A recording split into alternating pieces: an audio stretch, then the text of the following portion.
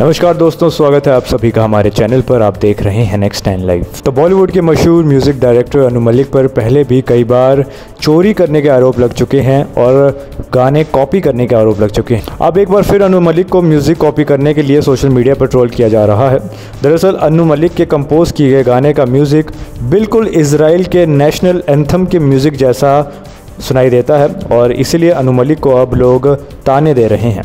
तो दोस्तों, हुआ कुछ ऐसा कि एक दिन पहले टोक्यो ओलंपिक्स में इसराइल के खिलाड़ी के गोल्ड मेडल जीतने पर इसराइल का नेशनल एंथम बजाया गया। इसका म्यूज़िक सुनते ही इंडियन लोगों को 1996 में रिलीज़ हुई फ़िल्म दिल जले का गाना मेरा मुल्क, मेरा देश याद आ गया।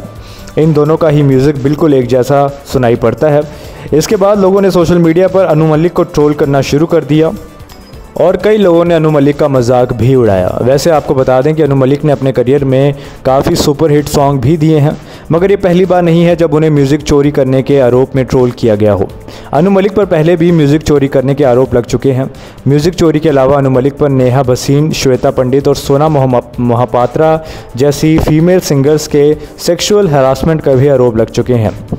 तो ये कहना गलत नहीं होगा कि अनु मलिक जो हैं काफ़ी कंट्रोवर्सीज़ में हमेशा ही रहे हैं। इन पर बड़े बड़े इल्ज़ाम शुरुआत से ही लगते रहे हैं।